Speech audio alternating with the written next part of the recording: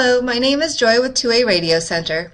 Today I'm going to show you how to program basic functions in your Vertex Standard VX230 radio. By now you've already watched our video on how to install the VX230 programming software on your computer and also the video on installing the FIF12 disk on your computer. So you're going to have to make sure before you begin programming your radio you have the Vertex programming software installed for the VX230 and also that FIF12 setup disk. To begin, open up the programming software, which on my computer is under Start. Either VX230 series, it may appear on your screen, it may appear here on your screen, or you can select all programs and scroll down until you find the Vertex Standard folder and then click VX230 series. To program your VX230 radio, you're going to need both the FIF12 cable and also the CT106 pigtail. You need both of these pieces before you can begin programming your radio. And just wait until your programming software installs. And I always like to maximize the screen so I can see everything that's going on. Before I can begin programming the software, I need to make sure that my FIF12 COM port is configured. To do so, click on File, then Configure. Right now, I'm on COM port 3 and it says FIF12, so I know that I have the cable in correctly. If you do not see COM3 FIF12 or your computer may say COM4, COM8, you just need to make sure that it says FIF12 in parentheses next to it to ensure that you're on the same COM port as the FIF12. I'm also going to change the baud rate from 9600 to 38400. This has to do with the data transfer speed and if you do not have your computer set to this higher baud rate speed, it may time out and you may have issues programming your radio. So make sure that your COM port says FIF12 in parentheses next to it and that the baud rate is at that faster speed, then click OK. Now, you do not just begin changing this main screen right here to program your radio. What you want to do before you create your initial profile every time is to first read the radio. To do so, you can either select this icon which says read or you can click radio read. Now, before I begin, make sure that you have all of your cables connected your, to your computer. There's a light on the FIF12 which should be green you're going to have the CT106 pigtail connected to the accessory jack on your radio, and the radio needs to be turned off. It's very important that your radio is turned off. My radio is turned off. My FIF12 light is green. I'm now going to click Read. Now it says, now the computer prompts me to switch the radio off, then back on to start reading from the radio. Okay, I turn it on. My read is complete. Click OK.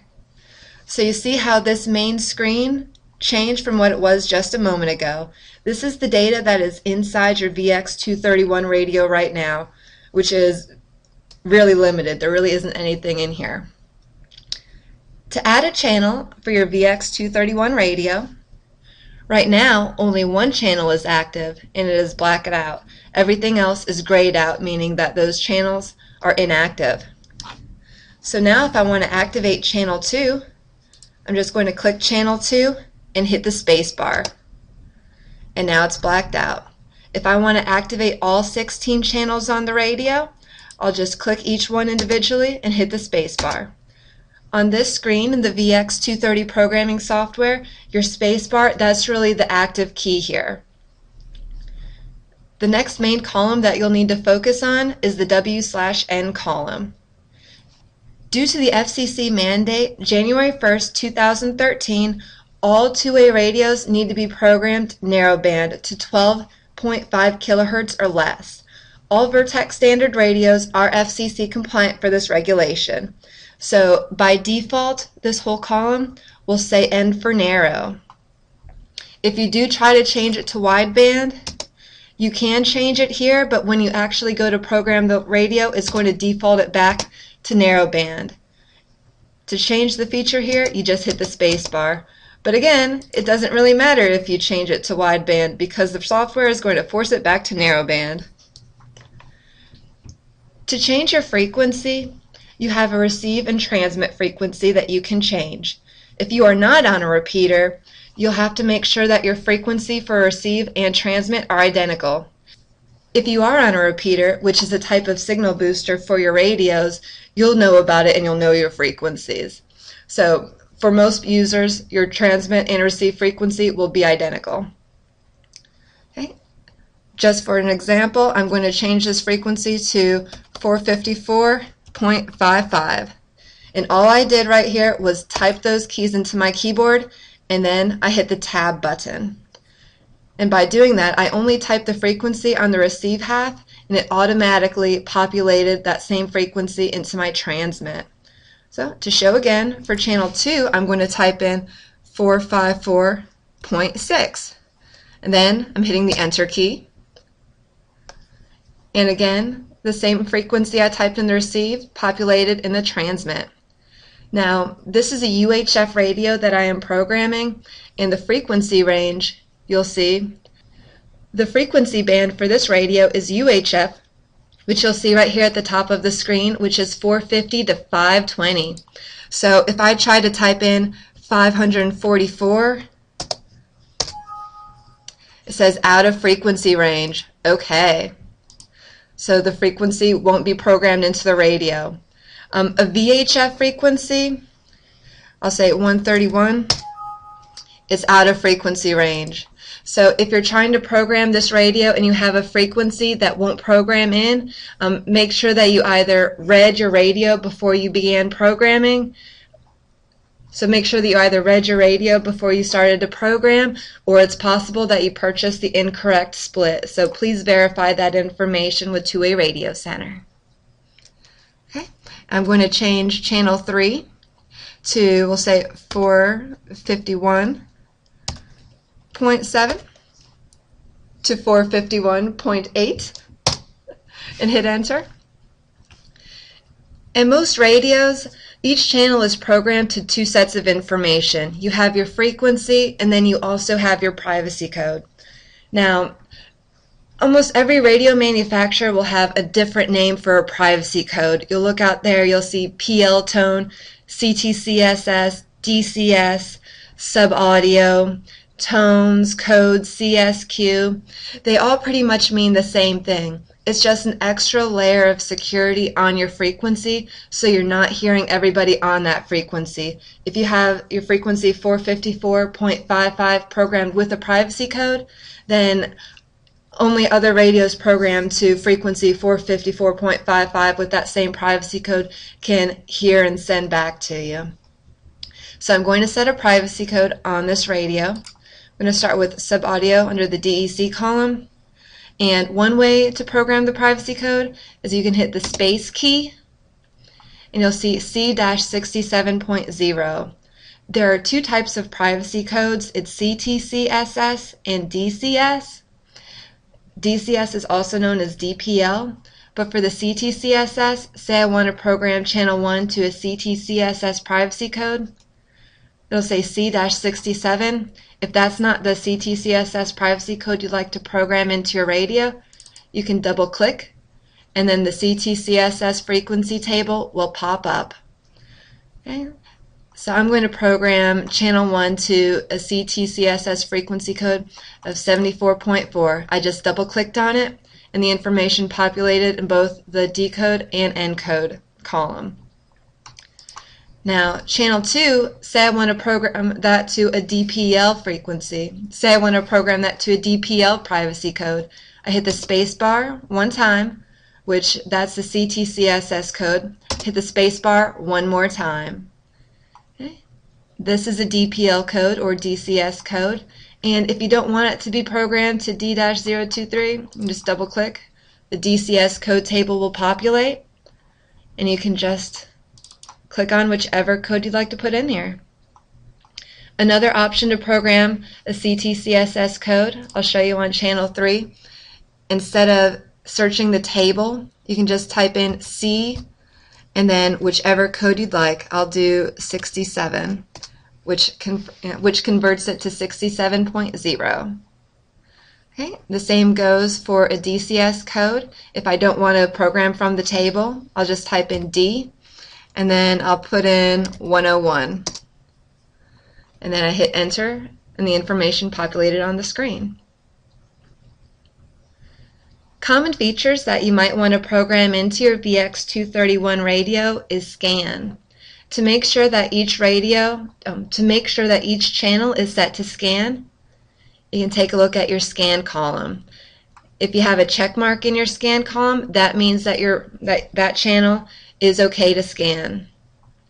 You may find that you're not getting quite as much power out of your radio as you might want, so this is when you can take a look at your power column for high or low. You want it to be on high for more power. If you want to convert it to low, just select the channel, select the H, and hit the space bar to change it to low. To change it back to high, hit the space key again. Common features that can be programmed into the radio are the side buttons. There are two programmable side buttons on the VX231 radio. To set those features, you can select Common in your programming software, and then select key function. The default in your VX231 radio for the side press is monitor, side press 2, none, side 1 is a squelch off, side 2, none. The difference between press and press and hold is so you can get more features programmed into your VX231 radio. This up here, side 1 and 2 press, that's for a short press. To activate the functions for side press and hold, you have to hold down the button, the side button, for a few more seconds.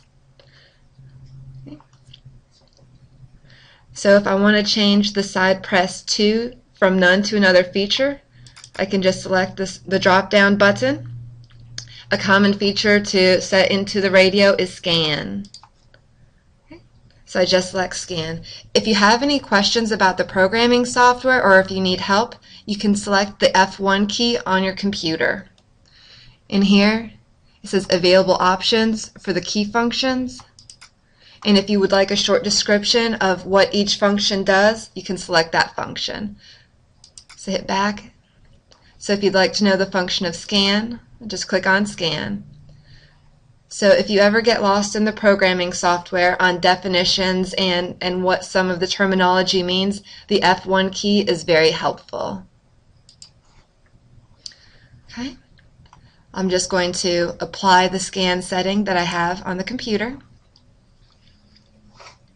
and just give it a moment.